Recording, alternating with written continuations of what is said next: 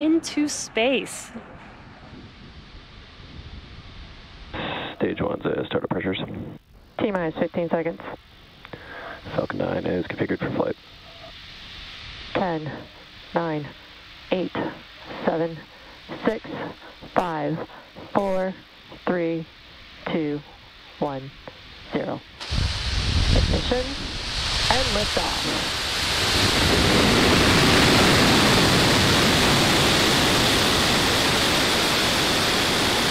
Falcon is pitching downrange.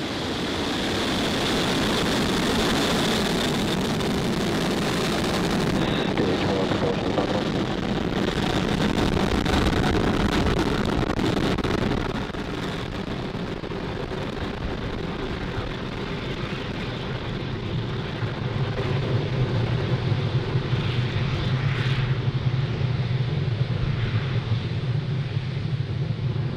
Falcon 9 has successfully lifted off from Cape Canaveral Space Force Station, carrying our stack of Starlink satellites to orbit. Nominal power and telemetry.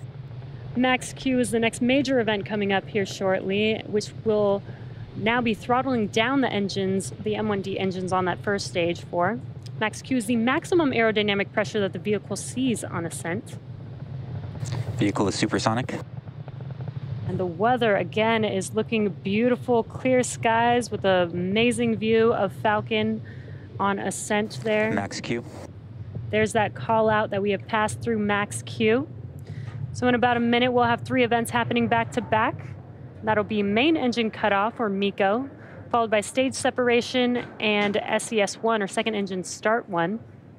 Now MECO is where we shut down all nine of those M1D engines on the first stage that you see burning there on your screen.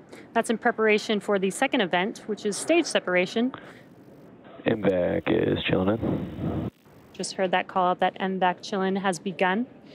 Now, stage separation is where the first stage separates from the second stage, and first stage will make its way back to Earth in attempt to land on our drone ship, Of Course I Still Love You, while stage two continues on its journey with the third event, second engine start one. That's where we light up that MVAC engine, and it will propel the second stage along with the Starlink satellites to their targeted drop off orbit just under 20 seconds or so away from those three events. That's MECO, stage separation, and SES1.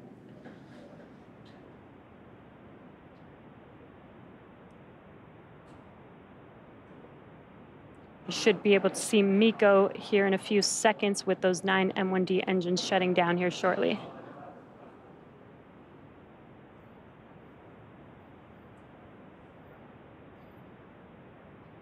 And MECO. Stage separation confirmed.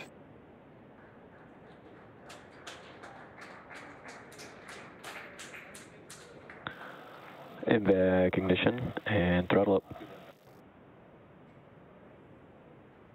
And there we've had main engine cutoff and stage separation. You can see that from the ground tracking view there. We did have a good call out of second engine start one on the second stage. Fairing jettison confirmed. And we heard the call out for fairing deploy.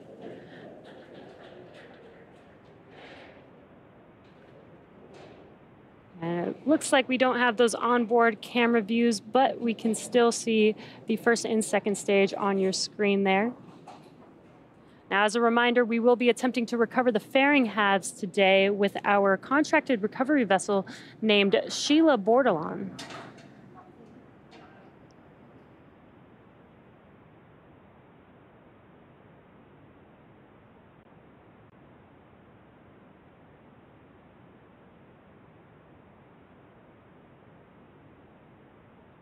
Acquisition of signal, Bermuda.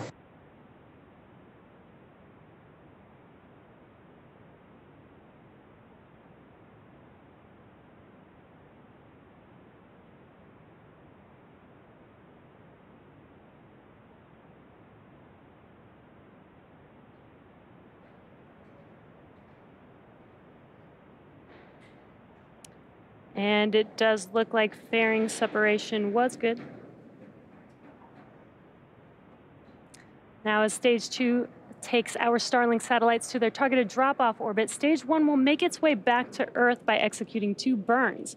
The first is the entry burn. That's where three of the M1D engines will reignite. This helps to slow the stage down as it re enters the upper part of the Earth's atmosphere. Now, the second burn is the landing burn, and this is the single engine burn that brings the vehicle speed down rapidly in order to land on the drone ship, and that is that center E9 engine, which is just powerful enough to slow the vehicle down to touch down on that drone ship. Second stage is following the nominal trajectory. And we do hear that call out that second stage is looking nominal. Unfortunately, we do not currently have any onboard views of that second stage at the moment, but everything is still looking nominal so far.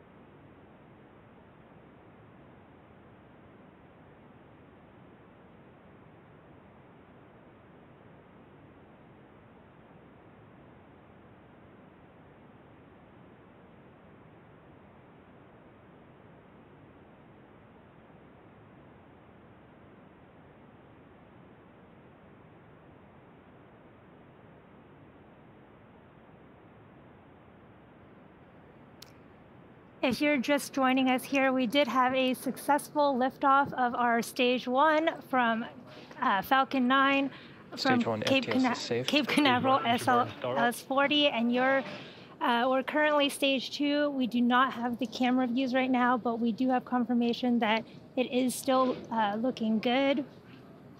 Again, our stage two is delivering our Starlink satellites to low Earth orbit, and that's our stack of 60 Starlink Stage one entry satellites. burn shut down. Second stage continues to follow the nominal trajectory.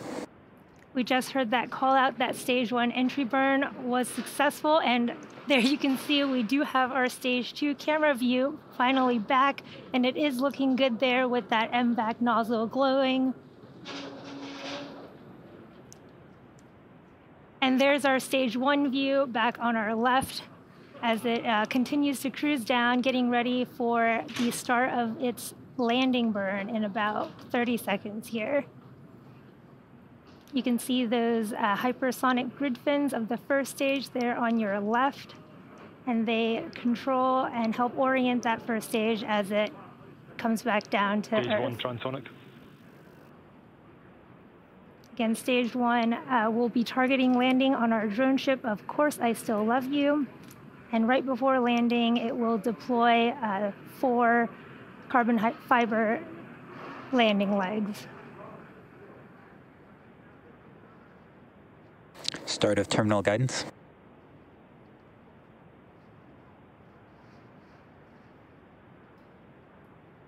Stage one landing burn. have the start of stage one landing burn. This will, burn will last about 30 seconds. You can see it coming down towards the Atlantic Ocean there. What a beautiful view from that stage one camera. Stage one landing leg deploy.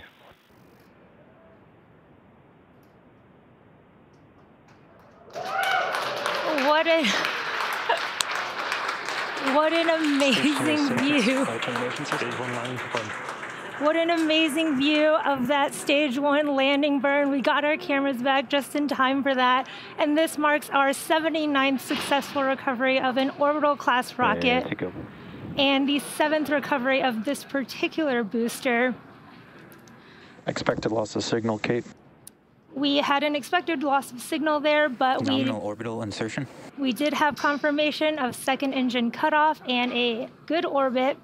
And now stage two is going to coast in this orbit for the next 35 minutes or so. And while that happens, take a look at this animation showcasing where we are in the coast phase, and we'll see you back here at T plus 45 Acquisition of signal minutes for a second stage relight.